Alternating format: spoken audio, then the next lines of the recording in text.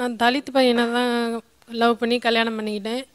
அந்த கல்யாணத்தினால இப்போ வந்து நான் என்னோட வாழ்க்கையே இழந்துட்டு நிற்கிறேன் என்னாச்சுமா பஸ்ஸில் போகும்போது பழக்கம். நான் டீச்சர் ட்ரைனிங் படிச்சிட்டு இருந்தேன்.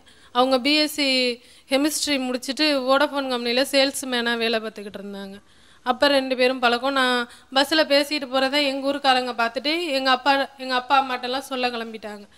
எங்கள் அப்பா எங்கள் அம்மாவுக்கு மட்டும் தெரியும். எங்கள் அம்மா வந்து என்னை கேட்டாங்க என்ன இது மாதிரிலாம் சொல்கிறாங்க உண்மையா அப்படின்னு கேட்கும்போது நான் ஆமாம் உண்மை தான் அப்படின்னு சொன்னேன். என்ன என்ன பையன் தெரியுமா? அப்படின்னு கேட்டாங்க. தெரியாது எனக்கு நான் அதெல்லாம் கேட்டுக்கல அப்படின்னு.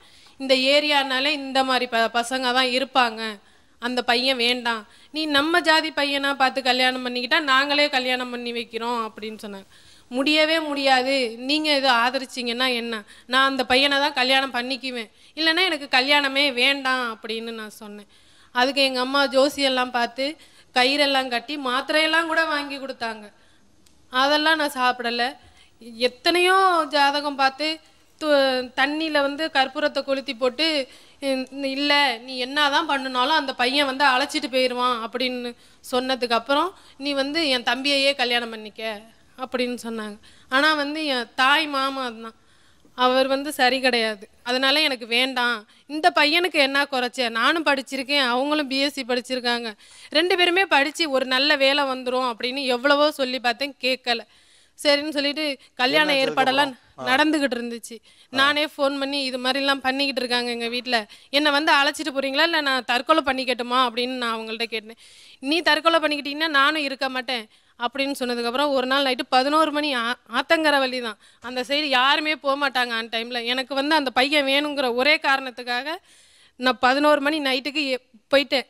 வந்து ஆட்டோவில் தான் அழைச்சிட்டு போனாங்க. அழைச்சிட்டு போயிட்டு ஆனால் கல்யாணம் பண்ணிக்கிட்டதுலேருந்து சொந்த ஊரில் இல்லவே இல்லை இருக்கவும் உடலை. ஊர் ஊராக நாங்கள் போனோம். ஏன் ஏன் ஊர் ஊரா போக வேண்டியிருந்துச்சு புரியல துரத்திட்டே வராங்க. துரத்தி வராங்க. யாரு? பிரிக்கிறதுக்காக ஏது எங்க உங்க உங்க ஆளுங்க. எங்க அப்பா அம்மா அண்ணன் தம்பி மாமா இந்த ஜாதிக்காரங்க. எங்க அப்பா அம்மா சும்மா இருந்தாலும் ஊர்ல உள்ள ஜாதிக்காரங்க என்ன உன் பொண்ணு இப்படி ஓடி போயிட்டாமே? இந்த பயல்கிட்ட விட்டுட்டியா? அப்படின்னு அசிங்க அசிங்கமா ஒரு மாதிரி வார்த்தைகள்லாம் வருது. என் என் கணவர் வீட்லயும் வந்து மிரட்டியிருக்காங்க. ஒன்று பொண்ணை கொண்டு வந்து ஒப்படைங்க. இல்லை உன் பையன் உனக்கு உயிரோட கிடைக்க மாட்டான். அப்படின்னு சொல்லி இரநூறு இரநூறு பேர் எங்க 200 தாய் மாமா ஊர்ல இருந்தும் சரி எங்க அம்மா அப்பா ஊர்ல இருந்தும் சரி இரநூறு பேர் வந்து மெயின் ரோட்ல நின்னுக்கிறது.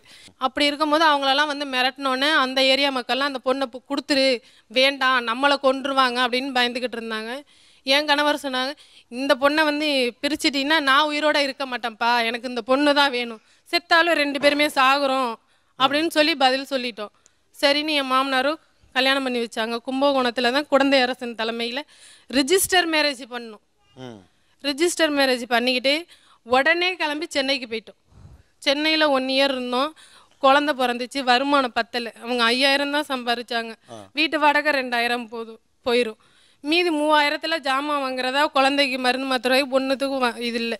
பார்க்குறதுக்கும் ஆள் கிடையாது. நான் கை குழந்தைய வச்சுக்கிட்டு ரொம்ப கஷ்டப்பட்டேன். என் வீட்டுக்கார் சாப்பாட்டுக்கு ஒரு நேரம் சாப்பிடுவோம். நான் ரெண்டு நேரம் சாப்பிட்டேன்னா அவங்க மூணு நேரமும் பட்னியாக இருப்பாங்க. அப்படியெல்லாம் ரொம்ப அந்த ஒரு வருஷமும் கஷ்டப்பட்டதுனால என் வீட்டுக்கார் கது பரவாயில்ல சொந்த ஊருக்கு போய் கொஞ்ச நாள் நாள் நிம்மதியாக இருப்போம். செத்தாலும் செத்துருவோம். அப்படின்னு சொல்லிட்டு பிறந்த மண்ணுக்கே போவோம்னு சொல்லி அழைச்சிட்டு வந்துட்டாப்புல. மே இருபத்தி நான் அஞ்சாம் தேதி வெள்ளிக்கிழமை எப்பொழுதும் ஜிம்முக்கு போவாங்க. வா அப்படின்னு சொல்லி அழைச்சிட்டு போய் ஆள் வச்சு என் கணவரை கொண்டுட்டாங்க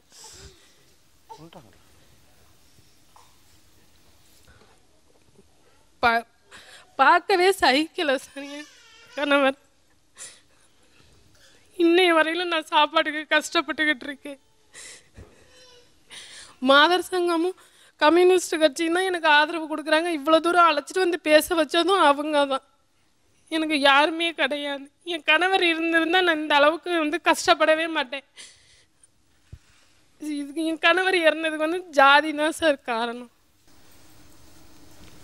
எத்தனை வருஷமாச்சு இது? என்னது? ஒரு வருஷம் ஆக போகுது இறந்து. இப்போ இப்போ இங்கே யார் யார் பாதுகாப்புல இருக்கீங்க? எப்படி எனக்கு கொடுத்த பணத்தில் நான் கவர்மெண்ட்டில் கொடுக்குற வீடு கட்டி அந்த வீட்டில் தனியாக இருக்கேன் நானும் அதே ஊர்ல தான் இருக்கீங்க? அதே ஊரில் தான் இருக்கேன் என் கணவர் இருந்த இடத்துல நானும் இருக்கிறேன். என்னையும் எது வேணாலும் செய்யுங்க. விட்டுட்டு நான் எங்க சார் போவேன்? எனக்கு யாரை தெரியும்? சொல்லுங்க.